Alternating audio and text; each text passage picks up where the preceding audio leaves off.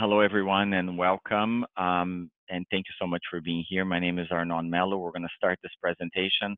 Our guest speaker today, Elise Racicot, is going to be delayed a few minutes. She was called in uh, on a, a, call with the consulate just a few minutes ago. She will join us as soon as she's off that call. So I want to thank her for uh, taking her time to participate and thank uh, all of you for watching this presentation today. So we're going to start and um, wait for Elise to join us in a few minutes, okay?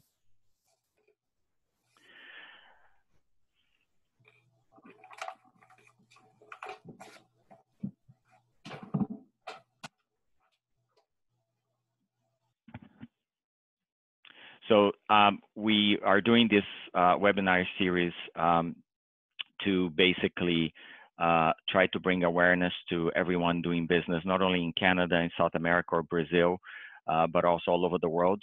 So I hope you enjoy some of this uh, information that we're going to provide today.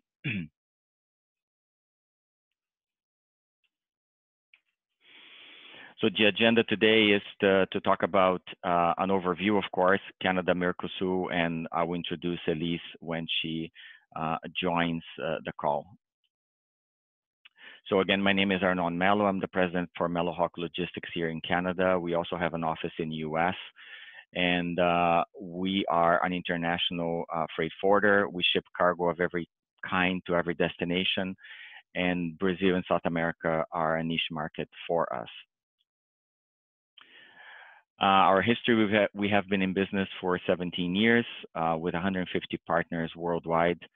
We've served over uh, 2,500 happy customers, and uh, we have a presence in 70 countries that we ship to. Uh, we do air freight, ocean, warehouse and distribution, and project cargo as well. Um, we are based in Toronto, as I said, but we cover the whole Canada.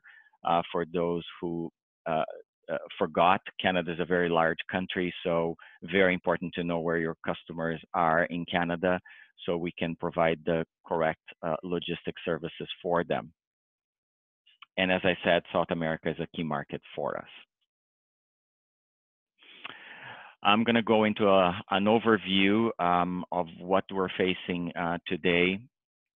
Uh, as you know, retail, commerce, entertainment, tourism, airlines, factories, all of it is uh, closed in Canada. People are working remotely, like most of the places around the world. Um, and uh, essential services like our company, we are considered essential services because we are importing and moving product that is needed um, in the market. So we are open. Half of our staff is working remotely and half is here in the office where we are. Um, and other essential services like energy, water, supermarket, and pharmacies, they're open in Canada as well. Some of the challenges, of course, currency uh, issues around the world, credit and insurance. Um, a lot of uh, credit uh, in the supply chain have been, have been suspended and contracts have been put on hold at the moment because, as you know, uh, we don't have uh, airlines flying as they used to fly, taking passengers and also in the same time taking cargo. So several routes around the world have been suspended from Canada and from other cities.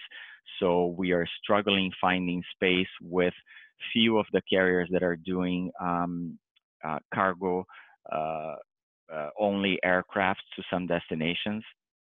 Working capital is an issue. As I said, most um, countries or suppliers are demanding payment upfront. So some clients are are having to prepay for product uh, while before they had credit, so now they don't have it anymore. Uh, as I mentioned, uh, in the logistics side, uh, capacity is an issue. Uh, as I said, airlines uh, don't have the regular flights anymore. on the ocean side, things remain normal. Um, as far as we know, the only issue is the lack of equipment in some markets because, as you can imagine, China was shut down for a couple of months. Uh, I'm going to say the majority of products shipped worldwide come from China, and the containers that were used to move these products, they were um, not in their regular rotation. So they got delayed arriving at some markets, and in consequence, now those markets don't have equipment to load it, to load product uh, into them. So there is a shortage in the supply chain, as you can imagine. And the feeling in the business community is uncertainty still for the future. Uh, we don't know um, how long um, some of the shutdowns will continue. Uh, we're hoping uh, soon things will go back to a certain normal and the business will be open as well. Clients will have their warehouse uh, operating again. Um, and uh, the fear that economic impacts will last for a long time, of course, as as we delay going back to normal, uh, it will have a cascade effect. Another thing uh, that I would like to mention in regards to supply chain in Canada, the, the, a lot of delays caused in delivering product and equipment is due to the fact that factories and clients uh, don't have their warehouse, cannot receive um, uh, uh, product at this time. And I also would like to encourage everyone to communicate with their logistics provider because at this time, where clients don't have product, a place to receive products, a freight forwarder can help you uh, manipulate those goods or uh, remove containers from port, taking it to different warehouses, offloading them for you, and avoiding further um, uh, uh uh, demurrage and storage on their product. So uh, I encourage you, if you uh, didn't work with a freight forwarder before, communicate with them, exchange some ideas, tell them your struggles, and I'm sure they're going to help you um, uh, find a solution. Uh, remember, we have contracts with many truckers and warehouses, and there is there's a lot of flexibility now uh, the more the more people we know on the chain, we can um, uh, help you um, offload those those shipments or or take them out of the ports uh, in in order to help the backlog. I'll wait for Elise to come in so she can comment uh, on uh, on the services of the Trade Commissioner offices in Brazil and where she's based or around the world. I encourage everyone to also reach out to the Trade Commissioner office uh, to find information about their local market in that country. So it has been um, uh, really insightful to exchange ideas with the Canadian government in different countries so we know exactly what that market is also facing and also our local agents in those markets. We get updates every day and uh, uh, from our network of agents, and that is crucial to maintain us informed what's happening uh, around the world. So hopefully Elise no. will come in. Yes. Elise has just joined. Just a sec. Wonderful.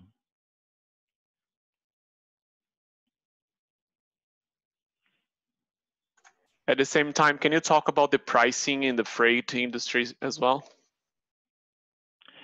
Uh, sure.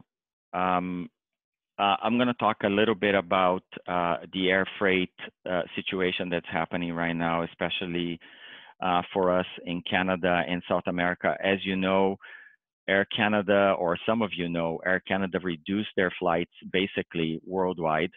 There is possibly only five destinations that Air Canada is flying right now. And um, the options remaining to send cargo to Brazil and South America from Canada is via Miami. Miami has always been a hub for freighter service uh, going from Miami to pretty much every country in Latin America and in South America. And that has not changed. So the freighters are continue to move.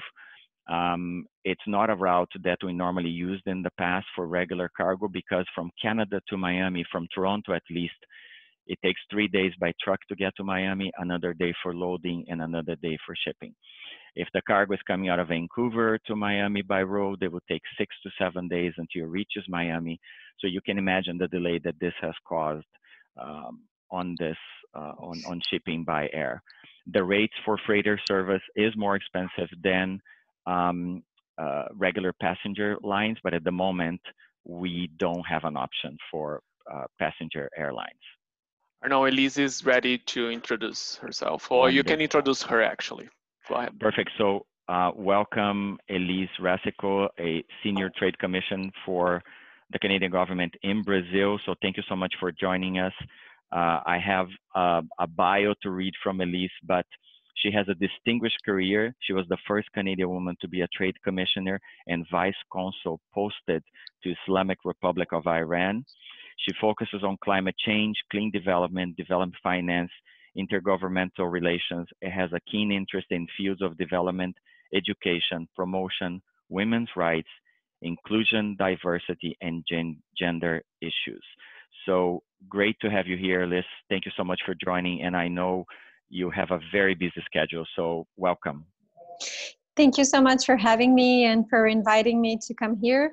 Uh, I also just uh, spoiler alert. Uh, I think that uh, many of the trade commissioners in the Brazil team uh, will be in touch uh, with with you folks at Mello Hawk to make sure that they also share some of their insight on specific sectors in the coming weeks. So, just to, just for you to know, I know that our teams are in touch to coordinate that as well. So, stay tuned for that it's a pleasure to be here today. And um, I know that uh, you had some questions prepared that you wanted me to go over. So uh, happy to start whenever uh, you want to.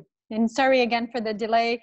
As you said, uh, these times are a little bit um, for everybody, I guess, out of our normal.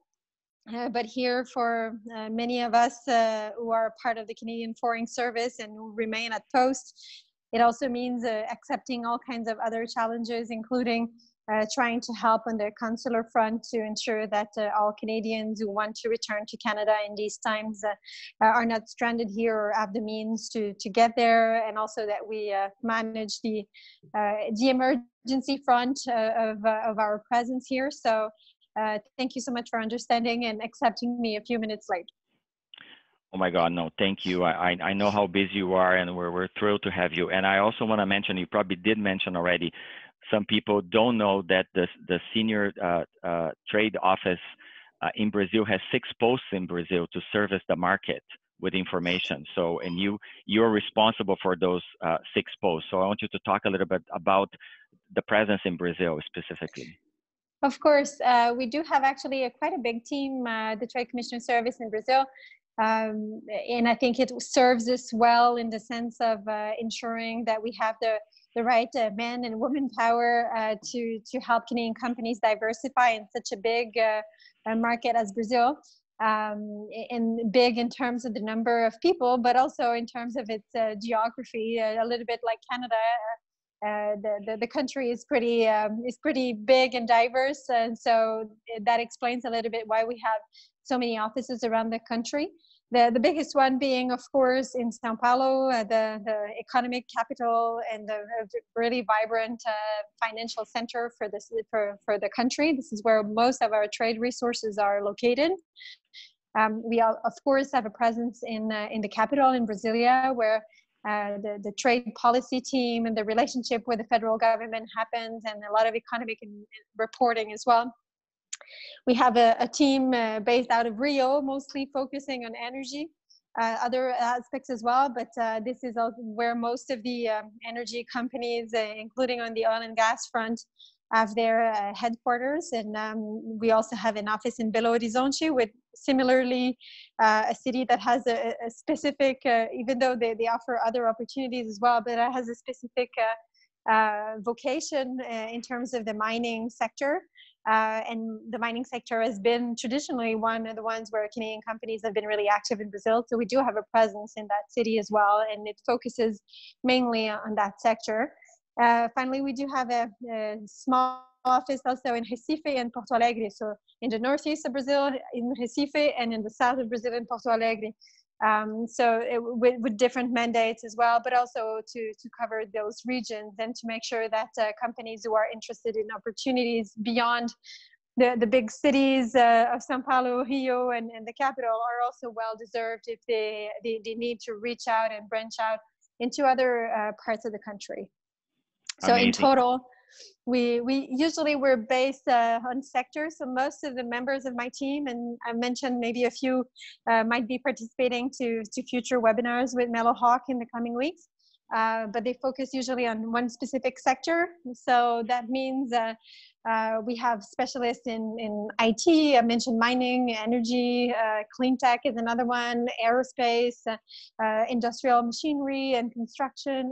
So, and, and, and, a lot more. But what I mean is that there's a lot of sector depth and a lot of really strong contacts in understanding of those sectors by the team, which is um, a luxury that we're really glad that we have so that we can uh, share it and offer it to the Canadian companies who are interested in the market. Great.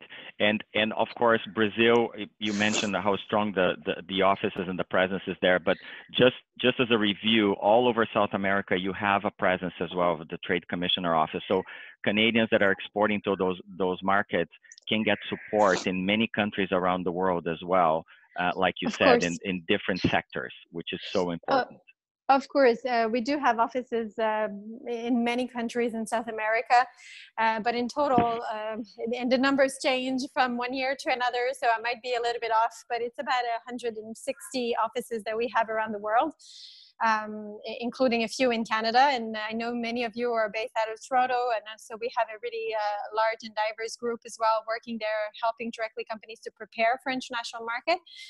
Uh, so we also have a presence in Canada. Uh, but we've been uh, helping companies for over well this year i guess is our 125th anniversary so yeah. we're we're uh, we've been I, I, guess pre-existing the diplomatic presence of canada um, and, and uh, in many ways, uh, you know, uh, we're a trading nation, and so that role of uh, opening doors and uh, for markets has been uh, an important one for the construction of our country. And I think it continues to be, especially in these times where, um, you know, the world economy is going to uh, see a, probably a lot of changes. Uh, as it is we're already seeing many of them but uh, we're, we can expect that many things will, will also change in terms of the uh, where the opportunities will lie and where the new maybe difficulties also will, will appear. And um, so our role i guess is to try to make sure that we uh, we can uh, translate as much as possible as this information so mm-hmm. that it's understandable and, and made available to canadian companies Yes, yes, and and going into that topic, I want to move to risk uh, and opportunities, and um, we know that you know around the world and not only in Canada, people had to look for other markets, looking or searching for product and adapting what they were doing before because of COVID. So many things changed. So I want to ask you, uh, what type of inquiries are you getting uh, from Canadian companies in Brazil? Are Canadians looking for some things that Brazil can offer and vice versa? Is Brazilians looking uh, from help uh, from Canada at this time? Uh, I think everybody is trying to to find help from everywhere at this uh, point in time in our history, uh, especially when it comes to um, to, to, protective uh, to personal protective equipment, to testing for COVID, and and to uh, um, that, that whole value chain chain related to um, to managing this crisis um, I think uh, a lot of disruption in supply chains and a lot of outbidding by between countries has made it really difficult. And um, countries are also trying to protect as much as possible what they have nationally so that they can attend their own population. So there's been a lot of uh, requests on both sides, I think, but um, we can see in Brazil um, that's a little bit like in Canada, I guess. Uh, a lot of uh, local companies are adapting their uh, their production to uh, ramp up their capacity to produce some of those things locally, uh, given the, the huge needs that they have and the, the difficulty to procure those uh, the, those elements. Um, that being said, we also continue to see Canadian companies in, in a variety of sector continuing to do business here and vice versa. Um, we continue to see a lot of uh, Brazilian startups still looking uh, at uh, implementing their plans to internationalize through Canada, for instance. I had a few cases that come to mind this week. Um, we also see uh, some of our uh, regular clients, actually, some new opportunities arising because uh, as uh, in many other countries, uh, but maybe uh, with an expressive way in Brazil, as uh, those of you who have been doing business or looking at doing business in this market, uh, you probably already know that uh, it's well known for what we sometimes call custo Brasil. Uh, you know, all those difficulties sometimes of red tape and, and bureaucracy to actually get into the market. Well, the, the crisis has actually been um, uh, helpful in a way in, in, lifting up some of those um, difficulties uh, that, that are usually uh, uh, in place because of uh, the difficulty of governments to move quickly on those elements. Uh, the crisis yeah. made it uh, a little bit uh, easier to to move some of those pieces quickly. Uh, just recently, while this is going on, for instance, the state of São Paulo has been able to pass their pension reforms. That's a good example. A lot of um, provisory measure, I guess what we call medidas provisorias, mm-hmm. that were taken uh, are allowing a lot more flexibility that uh, local companies have been asking for a long time, for example, on the labor front, just to name that one. Uh, so, so, there are actually some silver linings there in terms of the ability of companies to do business here. Uh, this morning, one person in, in, my team was just sharing how a Canadian company who's been wanting to do business here for a while uh, is now able to because some of that regulation uh, that was a bit of an impediment or, or a challenge before for them to, to be able to succeed has now been lifted. And so um, there are some opportunities that arise in, in every crisis, I guess. But in Brazil, I think uh, uh, it will definitely um, help to speed up some of the reforms that the country has been wanting to do, but has had still difficulties uh, politically and administratively to pass them through. Yes, my God, I, I, can just imagine. And yes, I think as I, as I have a slide on um, risk uh, and disruption bring opportunities as well. And that's what you're talking about. People are looking and and being i guess more active or or looking for other options wherever they can. And one thing that i want to bring up and i want you to talk about quickly i know your time is limited but um, you have been instrumental in the women in mining gender equality initiative that was just launched. So many so many women leaders were involved in that. Can you talk about that and and the effect that women have in mining in brazil for example uh, this is a, actually some really good news that we had this week, and I want to also salute the efforts of my colleague, our consul general in Rio, who's been like spearheading this this, uh, uh, this piece uh, together with with uh, many partners both in Canada and locally, and I've been really glad to be able to support those efforts um, it, has been uh, more than a year in the making, and so we were hoping to be able to do those uh, celebratory announcements in a different way. But like many other things, they had to be virtual, I guess. Yes.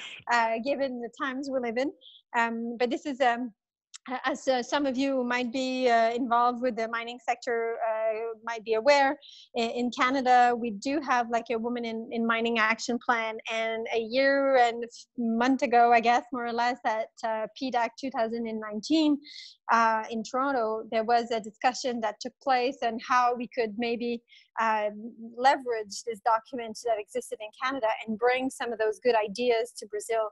And so there's been a lot of work to get through uh, the point we're at today. Um, but basically, there was the, the, adoption of those principles and this action plan. A lot of uh, companies uh, including big ones like Vale, have been instrumental in in, uh, in also promoting the, the, plan and adopting it.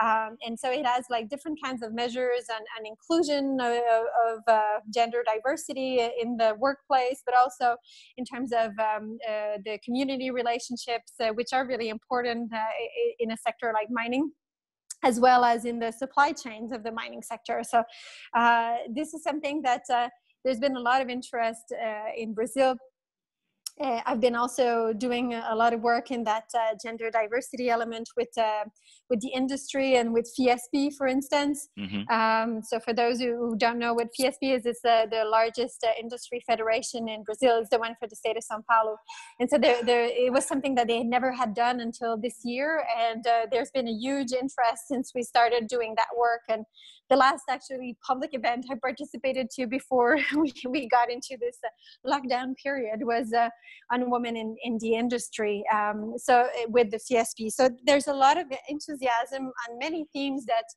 uh, when I was first in Brazil from 2008 to 2015 uh, were not necessarily on the radar screen that much. But uh, and again, I think it's a it's a sign of crisis uh, that we can learn from crisis. Brazil from 2015 to 2018 went through a, its own uh, set of difficulties with the uh, Lava Jato or car wash mm-hmm. Uh, operation, as some of you will remember.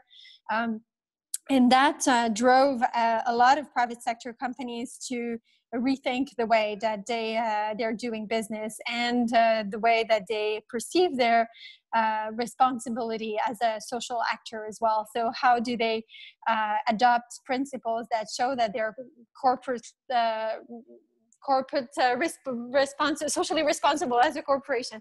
Let's put it this way.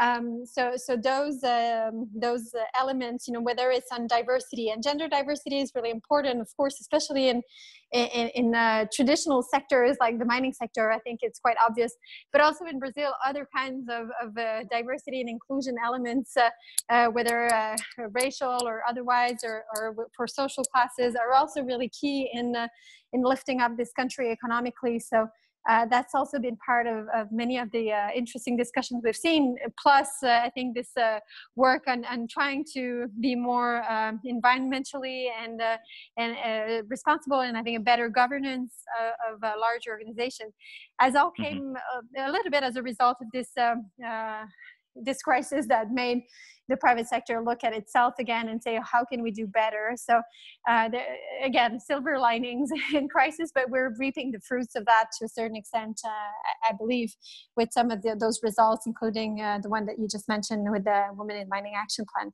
Amazing. And Elise, you, what, what areas do you see that are there's a real growth right now in Brazil, despite the COVID, or the COVID has interrupted everything, disrupted this this movement that you talked about? Do you, do you still think business is growing between Canada and Brazil? What is your take on that? Well, uh, it, it's it's a little bit fuzzy right now, so it's hard to say where, where, things will stand. And I think not just between Canada and Brazil, but I think globally, uh, economy and trade will will be affected by this. Uh, so so to say what exactly the, the level of the impact will be, I think we're a little bit too close to it to be able to say. Uh, but I think there are, and again, you know, it's like finding those uh, those little pearls in, in, the middle of, of the difficulties. Mm-hmm. Uh, but I think we see that certain sectors are are expected to to to um, to do better than others uh, as a result of what's going on.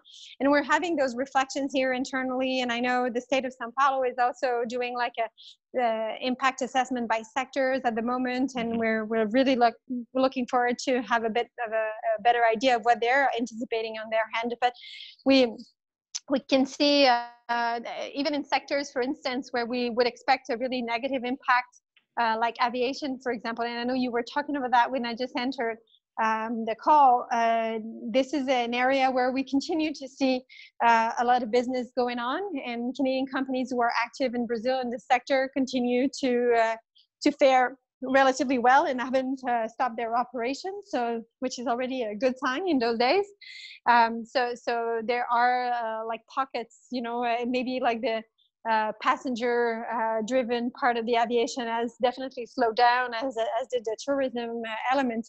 Uh, but the commercial like freight um, part is continuing. The maintenance repair and overall need to continue as well and parts as well. Um, and, and you see that even large Brazilian OEMs, you know, like Embraer, are, are also adapting, ad- adapting a little bit what they do, um, a little bit like we see in Canada for many companies, uh, Embraer is part of uh, you know the many companies who are trying to uh, to um, to provide support to produce locally some respirators and, and maintain them uh, mm. for the healthcare system. So uh, the, there's a lot of things that continue to go on, even in the, the darkest maybe corners of what we would expect. uh, we can see that uh, in the construction infrastructure sector, uh, you know, it's it, it, here it's since the beginning, construction has been considered as essential. Uh, so even if uh, things have slowed down in commerce and whatnot, uh, construction mm-hmm. has continued. Uh, so this continues to be the case, and we can expect that as a, a stimulus package, you know, uh, for, for the economy to stay as much as possible on track, or at least uh, not to suffer too much from a depression after this. That governments, uh, with the help likely of, of uh, international financial institutions, will look at stimulating the economy uh, as we often do through infrastructure investment. So uh, we expect that this is a sector that will continue. Uh, actually, we've seen a lot of um, uh, construction, you know, qu- really quick construction of like mm-hmm. hospitals that were in certain cases uh, supposed to be temporary and that will, in fact, remain uh, for a longer period. Uh, we're seeing also a lot of new, um, and there will be winners and, and, and, and, losers, I think, in many sectors. Uh, I'm thinking fintech, for example, which is a really dynamic sector in Brazil, because especially in Sao Paulo, because of the uh, number of, of, really powerful banks, uh, well established uh, in this financial capital, a little bit like in Toronto, I guess. Mm-hmm. Uh, but but there's been um, it, there will be difficulty with, with the funding side of that uh, innovation in startups as the economy retracts but at the same time uh, there there's also a lot of innovations that are happening. When you see for instance that uh, it's still only about 30% of adults in brazil that have a bank account um, and, and now uh, with uh, some uh, transfer programs that the government are putting together to help people who are part of the informal economy for instance uh, they're able to bring in through fintech uh, some of those uh, the, those people into the, the more formal economy. So uh, bringing in new consumers eventually, but also um, you know allowing to uh, to scale up some some technologies that are being developed here. Um, Brazil has also been for a really long time uh, a, leader, but also a partner of Canada in um, the healthcare and, mm-hmm. and, uh, and biotech uh, side, a lot of research being done in common for many years, and public healthcare as well. Um, and, uh, they're blessed, I guess, with the what is supposed to be the the largest uh, public healthcare system in the world, and on top of it, there's a, a strong private one. So I think um, uh, this is a, a, place where the the crisis will, of course, uh, put a lot of pressure on the system, but also will put a lot of uh, new uh, resources as well and uh, and will require a lot of uh, innovation and creativity. So that's one place where i think there will be uh, some some uh, some positive things going on. Um, I think the oil and gas sector has been suffering, but not only because of the COVID virus, but also uh, because of the, the crisis, you know, with the OPEP and, and the, the, the prices being uh, driven down. So that has affected uh, the sector here as it does in Canada and anywhere around the world, uh, pretty much. So this is uh, still a, an interrogation mark how this will unfold in the future. Mm-hmm uh, after this. But for sure, you know, the, the number of cars in the street of Sao Paulo are definitely less than usual. And the number of planes that I see from my window also less than usual. So probably a lot less uh, fuel being used. Uh, so, so you know, I think we need to really look at each and every sector and try to think uh, what's going to change in the sector and where some because there will always be opportunities. Some mm-hmm. things will be mm-hmm. harder, but some things will be made easier and, and will require more uh, solutions. So I think that's where we need to focus. Mm-hmm. Perfect. No, yes, I, I agree with you and, and thank you for that information. And and I know you don't have very much time, but I have to ask you, the Canada Mercosur trade agreement. I mean, there's been so much talk about it. Do you think in the post-COVID area era things will change in terms of negotiation and multilateral uh, cooperation between Canada and Brazil? Uh, it, it's really hard to say. I think the, the, the negotiations were going uh, pretty well. There's been a, you know a change in government on our side that made it a little bit longer between uh, some rounds of negotiation, and the one that was supposed to happen in March, of course, uh, was canceled due mm-hmm. to the situation. Yeah.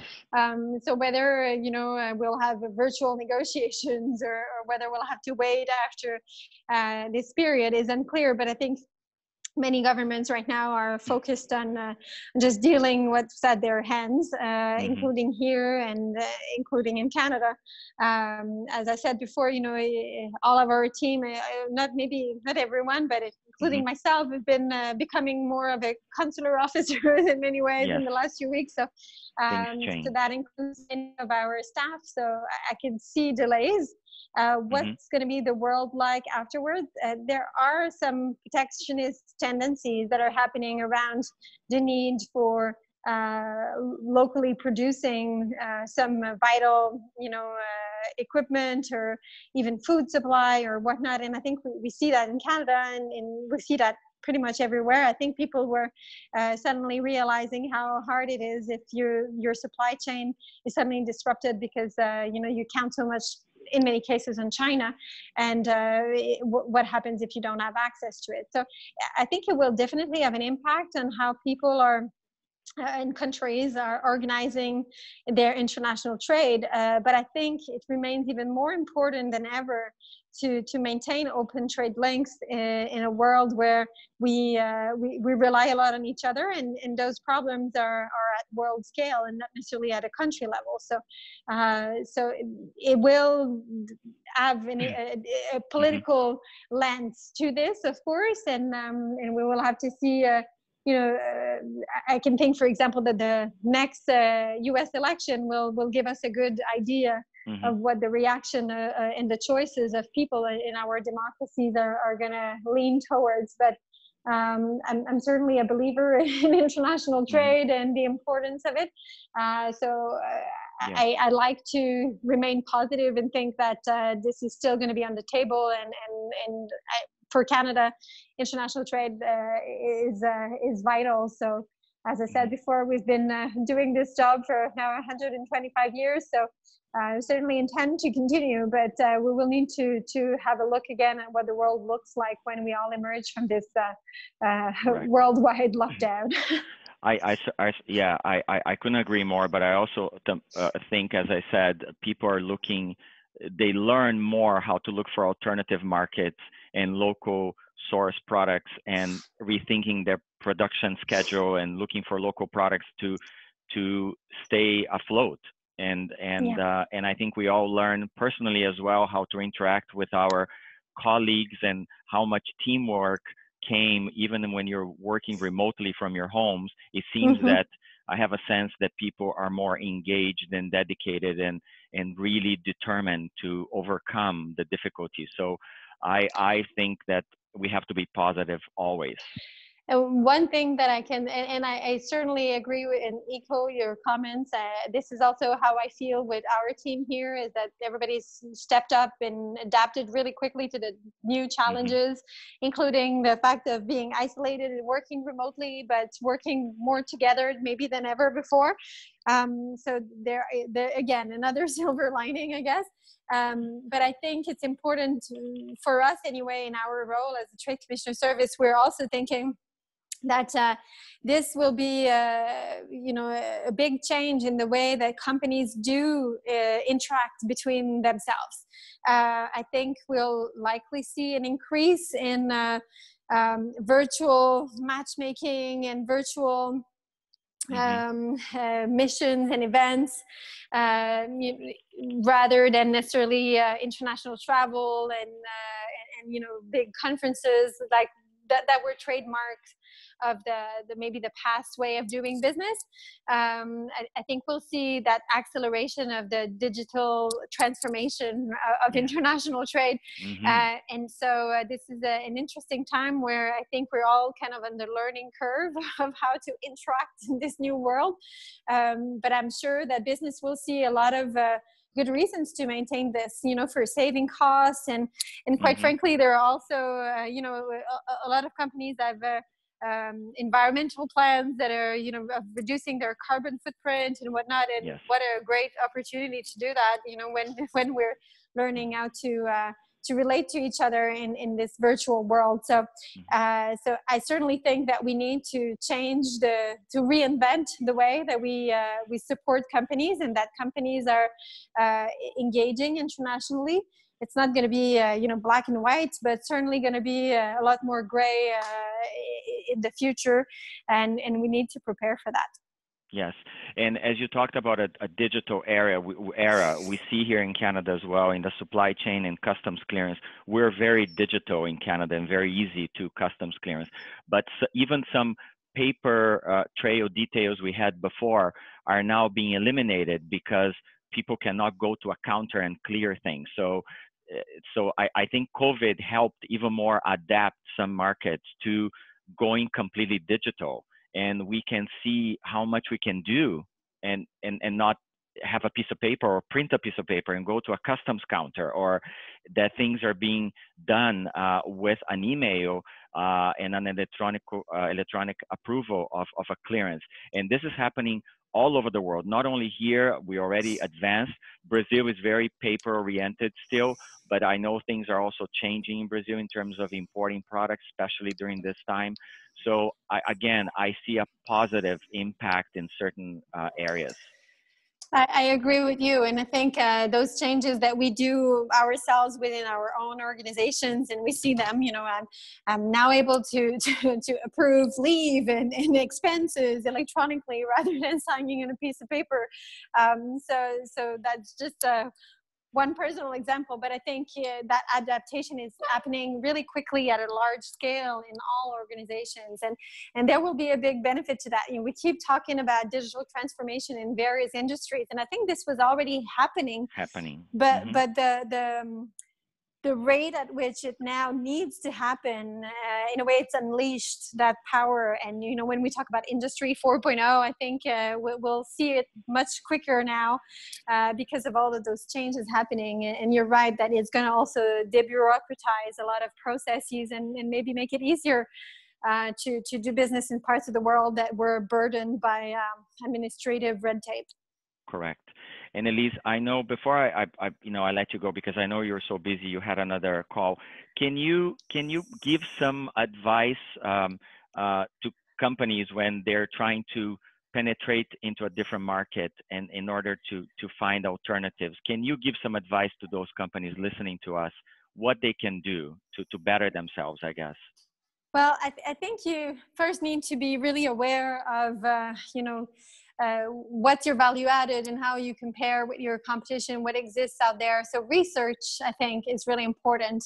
Uh, you know, having uh, uh maybe not all pieces answered yet, but having a pretty good idea of you know how you're going to be um, competing, establishing your prices and whatnot. It, it, it's really, you know, it sounds really basic, but I think it's uh, it's sometimes so different than than at home that uh, it's uh, it's really important as part of decision making and choosing a market. And, and and this is also part of some of the, you know, in, in Canada services that uh, the Trade Commissioner Service can offer, but also um, colleagues that we have at the BDC, the the, the Bank mm-hmm. Business Development Bank of Canada. Mm-hmm. And, other, uh, you know, there are also excellent services at the provincial level in, in, in pretty much all provinces across Canada. So uh, I think that preparation, you know, and being ready and, and, and having uh, often sufficient also uh, um, bandwidth you know to to take a market in canada we have a small market yes many of us uh, you know do business with the us a really important market for sure. Uh, but, it, but, but for those of you who do, you already know how uh, more uh, uh, how big it is in comparison with Canada and the difficulty that sometimes it means for scaling up. Well, a big market like Brazil can also present those challenges. So I think that part of like uh, analyzing, you know, your positioning and what do you really want and can offer is really important to research and really understand that.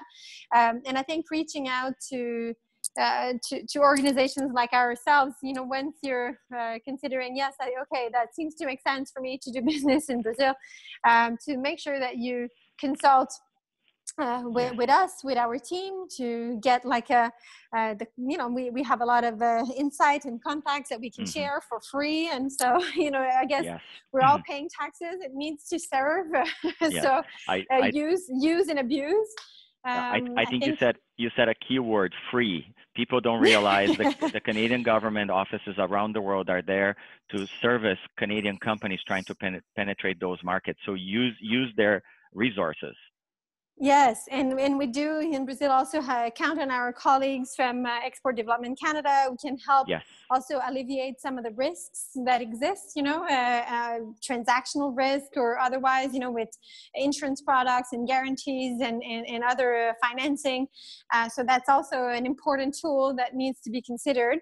Uh, I've mentioned, you know, uh, provincial governments. we have, for instance, the Quebec government is here, but also Ontario is quite active in this market, you know, organizing organizing a lot of uh, activities, and and so um, as are other uh, provinces as well. But I think they also can complement really well some of the work that we do, and they, they should definitely be uh, engaged as well in the process. The, the more, the better, probably. Um, and and I think that uh, usually we would say visiting the market is key. Uh, I'm gonna I'm gonna take a pause on this one, yes. especially as for for now. But even if it's a virtual visit, you know, I think engaging and talking with uh, the local contacts and, and, maintaining that relationship, I think, uh, especially in a market like Brazil where relationships are key, uh, I think is, is, is an important part of doing business here uh, a lot of successful and it's not a it's not a sine qua non uh, you know uh, element uh, but a lot of companies who are successful here uh, canadian companies successful in brazil do have sometimes in their staff uh, a brazilian canadian who kind of knows the local language and, and, and understands a little bit more maybe some of the some of the customs and and, and values and whatnot and can help you navigate. That's always useful uh, I think associations like uh, the BCCC, for example, the Brazil Canada Chamber of Commerce, or here in Brazil, the, the, the CCBC, a bit of its equivalent locally, uh, are also really good uh, resources in, in uh, providing that kind of um, uh, cultural information, how to do business with a more general view on, and in guidance. I think that's also important. So partner. So my first thing would be research. The, the second one, use the, the partners that you have, mm-hmm. uh, especially those who are free, but also yeah. uh, equip yourself well with, um, with support uh, from um, you know consultants whether it's on the logistical side on the legal side um, on the tax side hopefully this will also be uh, easier in due time uh, but th- these are elements where expertise is really important uh, in a country like Brazil. And there are programs that exist in Canada that can help a company who wants to enter a new market uh, to alleviate some of those costs and, and pay uh, half of them, for instance, uh, with a Canadian program called CanExport. But provincial yeah. programs also exist that can sometimes complement that. So uh, I think using those funds again that are there for for companies to use is uh, is, is, part of the solution um, and can help to alleviate the risk as well by reducing the uh, the, the, the, cost of entry. So yeah. research, partner, partner, and leverage what is there that governments are offering you. Perfect. And when, again, when we can travel and visit people in person, then make a visit to Brazil or to your customer, wherever they are, because th- that changes so much the relationship. For now, we can do Zoom calls. Yes.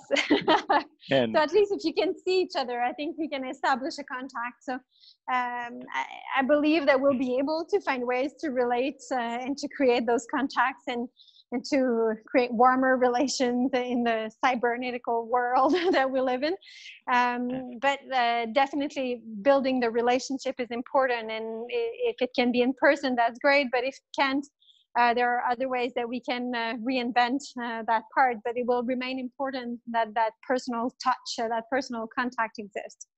Absolutely. Always good to have a Brazilian little cafezinho when you when you are in São Paulo. So there you go. Elise, I, I want to thank you so much. I know you you have another call. I, I can't thank you enough for taking part of this. Uh, our guest uh, today is Elise Racicot, the Senior Trade Commissioner for Brazil and leads the Canadian Trade Program. excuse me, with six Canadian offices throughout Brazil. She sits on the global board of the Canadian Trade Commissioner Service. So, Elise Racicot, thank you so much for your insight and for being here today.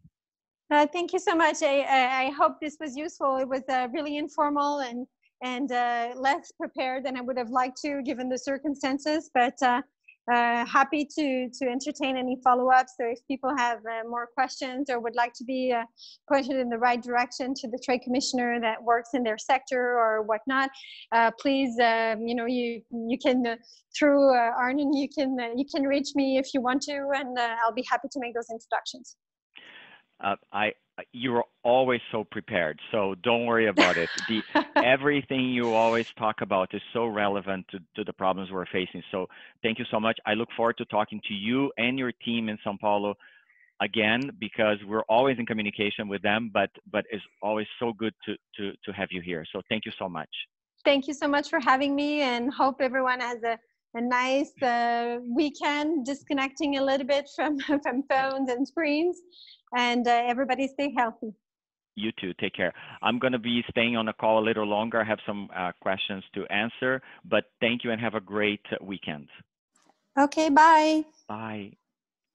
I also want to thank everyone that is on this call, the Brazil Canada Chamber of Commerce, the Brazilian American Chamber of Commerce, the CCBC, Câmara de Comércio Brasil Canadá in São Paulo, the FCBB, who is joining, and all the uh, uh, everyone that is joining from uh, Sheridan, Lambton, Centennial, Humber, and Seneca College. So thank you uh, everyone that is that is on this call, and um, uh, what great information from uh, from Elise. So again, I, I can't thank her enough and her team in Sao Paulo who always keep us informed what's happening on the ground. I want to go back to um, the slides that we had prepared as I was waiting for Elise to come in. But um, she mentioned, of course, uh, Canada has many programs, EDC, Export Development Canada. Uh, if you are a Canadian company exporting a product or a service worldwide, this organization can support you so much, not only financially, but also protecting you from risk on your receivables worldwide. So, so I encourage you to speak to them. The BDC as well. Uh, uh, can uh, provide financial support. And some of the ideas here thinking forward, search for government assistance, of course, renegotiate contracts and review processes. This is the best time for you to really look at what you're doing as a company, a structure, and your markets and see what else can you do right within your organization rethink your communication strategy with customers and partners crucial more than ever now uh, we cannot be in person with those uh, clients and partners, so we have to uh, communicate with them via Zoom or phone them or phone or email. So it is it is the best time to reach out and say, what else can I do for you? How can we work together? How can we come up with solutions together? And and every bit of information that we share with South American partners will be valuable news to them. And that's why we're doing these webinars. We're trying to share what we're going through in Canada and uh, try to educate as many people as we can and also hear from them uh, the challenges they're facing in different countries so we can better service them and that's what we're doing with with our clients um, I don't know if any of you, I will uh, take the presentation off. If any of you on the line have any specific questions or comments that would you, would you like to share? And again, thank you for being here.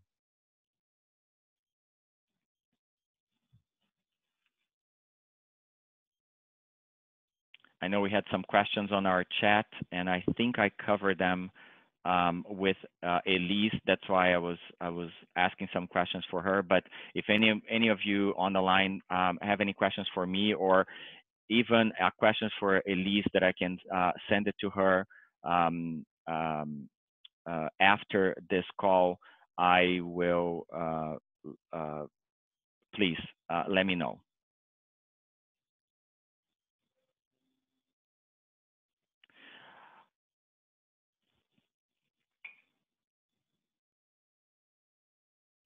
So I guess uh, we, yeah, we extended our time already. So I'm going to thank you again, everyone, very much for uh, being here um, and thank you for participating. We're going to be sharing this presentation uh, at a later time. We'll be sending a little survey. If you can please uh, answer it, it's good for us to know what we're doing right or wrong.